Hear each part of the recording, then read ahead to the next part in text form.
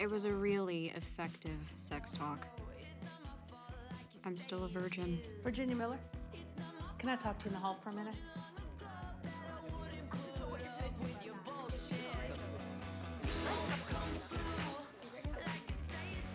Virginia, It's Ginny. your stepfather's been in an accident. Your mom's on her way here with your brother. I'm so sorry, honey. He didn't make it.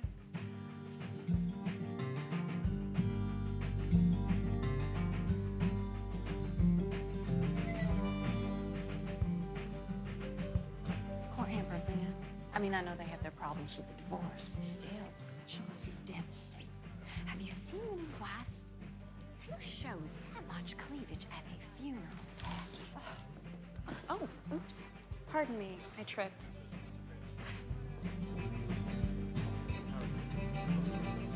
Kenny was the best. The best. After being a single mother for so long, he was like a godsend. And he was wonderful with Virginia and Austin. He treated them like his very own. Well, they weren't his own.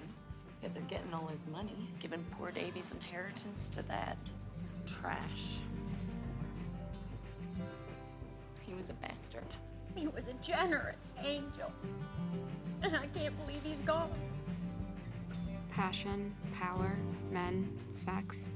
I'll take her word for it. She's the expert. I'm nothing like my mom.